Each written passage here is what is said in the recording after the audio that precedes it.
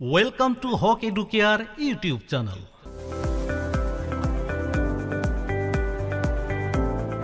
আজিৰ ভিডিঅ'ত ছল্ভ কৰিম mathematics class six lesson thirteen ratio' and proportions অনুপাত আৰু সমানুপাতৰ page number two hundred fifty থ্ৰীৰ question number thirteen fourteen আৰু ফিফটিন তো এয়া page number two hundred fifty three two hundred fifty three number পেজৰ ইতিমধ্যে আমি কুৱেশ্যন নাম্বাৰ নাইনৰ পৰা টুৱেলভলৈকে solve কৰিছোঁ আজিৰ ভিডিঅ'ত আমি ছল্ভ কৰিম question number thirteen fourteen fifteen এই তিনিটা কুৱেশ্যনছ তো এই তিনিটা কুৱেশ্যন ছল্ভ কৰাৰ কাৰণে আমি যাব লাগিব বেলেগ এটা পেজলৈ তালৈ যোৱাৰ আগতে সৰু এটি অনুৰোধ জনাব বিচাৰিছোঁ। প্লিজ ভিডিঅ'টো এটি লাইক কৰি আমাক উৎসাহিত কৰাৰ লগতে পৰৱৰ্তী ভিডিঅ'সমূহ নিয়মীয়াকৈ পাবলৈ যদি আপুনি এতিয়াও চেনেলটো ছাবস্ক্ৰাইব কৰা নাই প্লিজ ছাবস্ক্ৰাইব কৰি আমাৰ লগত থাকক। কাৰণ এই চেনেলত নেক্সট ইয়াৰ আপোনালোকে যেতিয়া ক্লাছ ছেভেনত উঠিব ক্লাছ ছেভেনত অল ছাবজেক্টৰ চলিউশ্যন সমাধান বা প্ৰশ্ন উত্তৰ এই চেনেলত নিয়মীয়াকৈ পাই থাকিব। তো আহক আমি ছল্ভ কৰিছোঁ কুৱেশ্যন নম্বৰ থাৰ্টিন ফৰ্টিন আৰু ফিফটিন তো ইয়াৰ question number thirteen question number থাৰ্টিনত কি কৈছে? The ratio of two numbers is 7 is to 12 if the larger number is 84 what is the smaller number? অৰ্থাৎ দুটা সংখ্যাৰ অনুপাত দিয়া আছে ছেভেন ইজ টু টুৱেল্ভ তাৰে ডাঙৰ সংখ্যাটো যদি এইট্টি ফ'ৰ হয় সৰু সংখ্যাটো আমি উলিয়াব লাগে। তো যি য'ত যিটো ৰেচিঅ' আছে সেই ৰেচিঅ'ৰ পৰা আমি ইয়াক উলিয়াব পাৰিম। তো ইয়াতে ৰেচিঅ'ত দেখা যায় দুটা নাম্বাৰছ আছে। এটা সৰু আছে এটা ডাঙৰ আছে। তো আমি ইয়াৰ পৰাই লিখিব পাৰোঁ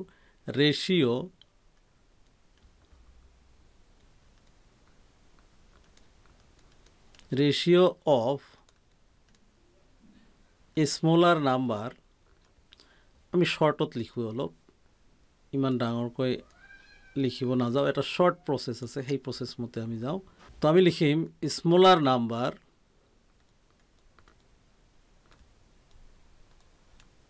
is to greater number larger number ইয়াতে দিয়া আছে লাৰ্জাৰ নাম্বাৰ তো আমি লিখিম লাৰ্জাৰ নাম্বাৰ অৰ্থাৎ সৰু সংখ্যা আৰু ডাঙৰ সংখ্যাটোৰ অনুপাতটো কিমান দিয়া আছে এইটো আছে ছেভেন ইজ টু টুৱেল্ভ তো এই ক্ষেত্ৰত আমি ইয়াক যদি ফ্ৰেকশ্যনছ ফৰ্মত লিখোঁ আমি লিখিব পাৰোঁ স্মলাৰ নাম্বাৰ এইটো যাব ওপৰত লাৰ্জাৰ নাম্বাৰটো আমি লিখিম তলত ইকুৱেল এই ইকুৱেলটো আমি ইকুৱেল লিখিলোঁ এই ছেভেন যাব ওপৰত আৰু এই টুৱেল্ভ আহিব তলত ঠিক আছে? তো এতিয়া আমি স্মলাৰ নাম্বাৰ যিহেতুকে ভেলুটো নাই আমি স্মলাৰ নাম্বাৰ স্মলাৰ নাম্বাৰে লিখিম। আৰু লাৰ্জাৰ নাম্বাৰৰ ভেলুটো আমাৰ দিয়া আছে এইট্টি ফ'ৰ আমি লাৰ্জাৰ নাম্বাৰৰ ঠাইত এইটি ফ'ৰ লিখিম। Equal seven divided by twelve তো ইয়াতে আমি এটা কথা জানো যে কোনো এটা সংখ্যা যদি লেফ্ট হেণ্ড ছাইডৰ পৰা ৰাইট হেণ্ড ছাইডলৈ যায় যদি মাল্টিপ্লাই থাকে ডিভাইড হয় ডিভাইড থাকিলে মাল্টিপ্লাই হয় প্লাছ থাকিলে মাইনাছ হয় মাইনাছ থাকিলে প্লাছ হয়। তো এই ক্ষেত্ৰত ইয়াতে আমাৰ এইটি ফ'ৰটো ডিভাইড সম্পৰ্কত আছে এই ৰাইট হেণ্ড ছাইডত গ'লে মাল্টিপ্লাই হৈ যাব। তো আমি smaller number smaller number equal দিয়াৰ লগে লগে ৰাইট হেণ্ড ছাইডত অলৰেডি ছেভেন বাই টুৱেল্ভ আছে আৰু এই এইটি ফ'ৰ ডিভাইড আছিল ই ৰাইট হেণ্ড ছাইডত গৈ মাল্টিপ্লাই হৈ যাব এইটি ফ'ৰ তো এতিয়া আমি টুৱেল্ভত দি এইটি ফ'ৰক কি কৰিব পাৰোঁ? ডিভাইড কৰিব পাৰোঁ। টুৱেল্ভ ছেভেন যা এইটি ফ'ৰ হয়। তো আমি কিমান পালোঁ? Seven into seven equal forty nine তো এই স্মলাৰ নাম্বাৰ আমি কিমান পালোঁ? ছেভেন ফৰ্টি নাইন তো therefore smaller number equal forty nine এই আনচাৰ তো নিশ্চয় বুজি পাইছে আমি ছল্ভ কৰিলোঁ থাৰ্টিন নাম্বাৰ এতিয়া আমি ছল্ভ কৰিম কুৱেশ্যন নাম্বাৰ ফৰ্টিন তো এয়া question number fourteen question number ফৰ্টিনত কি কৈছে if we melt two metals অৰ্থাৎ ধাতু at a certain temperature we may get a new metal this type of metal is called an alloy অৰ্থাৎ Shankar the ratio' of the copper and the lead in such an alloy is nine is to seven if the alloy contains one hundred seventy kilogram of copper what is the amount of lead in it তো কুৱেশ্যনটো আমি ভালদৰে বুজি ল'ব লাগিব। Actually আমাক কৈছে দুই ধৰণৰ ধাতু, য'ত কি কি আছিল? মেটেলছ আমাৰ কপাৰ আৰু লিড আছে। তো কপাৰ আৰু লিড এই দুই প্ৰকাৰৰ ধাতু একলগ কৰি এটা বিশেষ অনুপাতত অনুপাতটো হৈছে নাইন ইজ টু ছেভেন অৰ্থাৎ নাইন পাৰ্ট যদি আমাৰ কপাৰ হয় ছেভেন পাৰ্ট থাকিব লিড আৰু সেই ক্ষেত্ৰত যদি সেই এলয়ত ওৱান হাণ্ড্ৰেড ছেভেণ্টিন কিলোগ্ৰাম যদি কপাৰ ইউজ কৰিছে কপাৰৰ পাৰ্ট নাইন পাৰ্ট ঠিক আছে নাইন পাৰ্ট আৰু ছেভেন পাৰ্ট তাৰে নাইন পাৰ্টৰ যিটো এমাউণ্ট সেইটো আছে ওৱান হাণ্ড্ৰেড ছেভেণ্টি কিলোগ্ৰাম সেইমতে লিড য'ত কিমান পাৰ্ট আছে ছেভেন পাৰ্টছ আছে তেনেহ'লে সেই লিডৰ ওজন কিমান হ'ব বা লিডৰ এমাউণ্ট কিমান হ'ব। তো ঠিক আগৰ দৰে আমি ইলেভেন নাম্বাৰৰ দৰে ইয়াক চিম্পুলভাৱে ছল্ভ কৰিম। তো আমি ইয়াতে জানো দুটা ধাতু আছে আমি লিখিম দুটা ধাতুৰ অনুপাত কি কি আছে।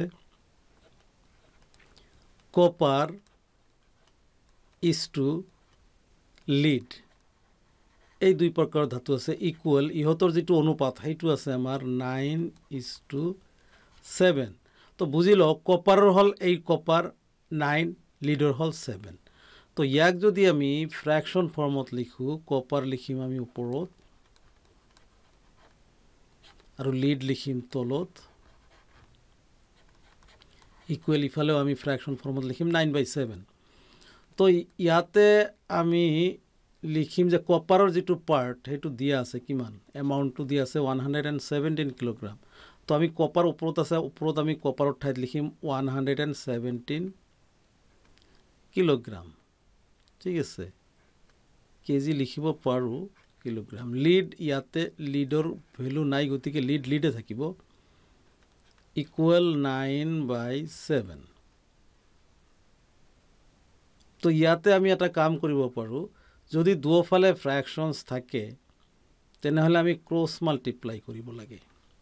তো ক্ৰছ মাল্টিপ্লাই কেনেকৈ হয় যে লিড আৰু নাইন এই দুটা লিড আছে তলত তলৰটোৰ লগত ওপৰটো মাল্টিপ্লাই তো আমি লিড ইন টু নাইন অৰ্থাৎ লেফ্ট হেণ্ড ছাইডৰ তলৰটোৰ লগত ৰাইট হেণ্ড ছাইডৰ ওপৰটো মাল্টিপ্লাই হয় হৈ গ'ল ইকুৱেল ৰাইট হেণ্ড ছাইডৰ ওপৰটো one one seven into right hand ছাইডৰ তলৰটোৰ লগত লেফ্ট হেণ্ড ছাইডৰ ওপৰটোৰ লগত এইবাৰ ৰাইট হেণ্ড ছাইডৰ তলৰটোৰ লগত মাল্টিপ্লাই হ'ব। কিমান আছে আমাৰ? ছেভেন ঠিক আছে। তেতিয়া লিড ইকুৱেল আমি জানো কোনো এটা সংখ্যা লেফ্ট হেণ্ড ছাইডত যদি ইনটু হৈ থাকে ৰাইট হেণ্ড ছাইডত গ'লে ডিভাইড হ'ব। তো one one seven into seven থাকিব। এই ৰাইট হেণ্ড ছাইডত নাইন গুচি যাব মাল্টিপ্লাই আছে ডিভাইড হৈ যাব। এতিয়া আমি কেলকুলেশ্যনখিনি কৰিলে এনচাৰটো পাই যাম। এতিয়া নাইনেদি যদি আমি ওৱান হাণ্ড্ৰেড ছেভেণ্টিনক ডিভাইড কৰোঁ আমি কিমান পাম? নাইন ওৱান জা নাইন ইয়াতে থাকিল two nine two eleven two আৰু seven twenty seven nine three জা টুৱেণ্টি ছেভেন অৰ্থাৎ ছেভেন থাৰ্টিন পাম আমি।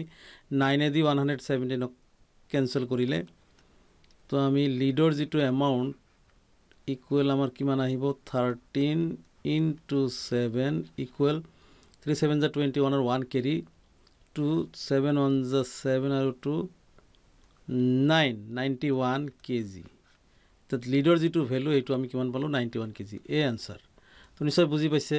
আমি কুৱেশ্যন নম্বৰ থাৰ্টিন আৰু ফৰ্টিন ছল্ভ কৰিলোঁ, এতিয়া আমি ছল্ভ কৰিম আহক কুৱেশ্যন নম্বৰ ফিফটিন তো ইয়াৰ question number fifteen question number ফিফটিনত কি কৈছে?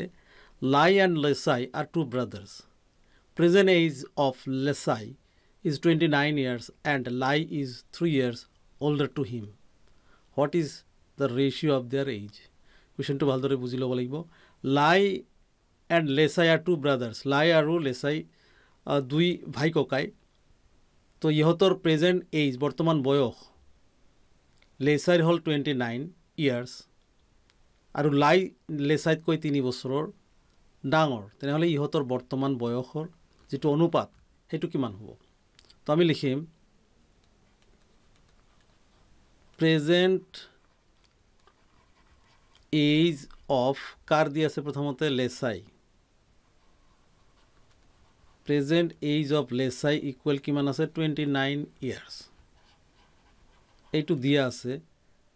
Therefore present age of Lai লাইৰ এই বয়স কিমান সেইটো দিয়া নাই, কিন্তু এটা কণ্ডিশ্যন দিয়া আছে যে লাই লেচাইতকৈ তিনি বছৰৰ ডাঙৰ। অৰ্থাৎ লাইৰ যদি বয়স তিনি বছৰ লেচাইৰ যদি তিনি টুৱেণ্টি নাইন ইয়াৰ্ছ হয় তেনেহ'লে লাইৰ হ'ব আৰু তিনি বছৰ বেছি।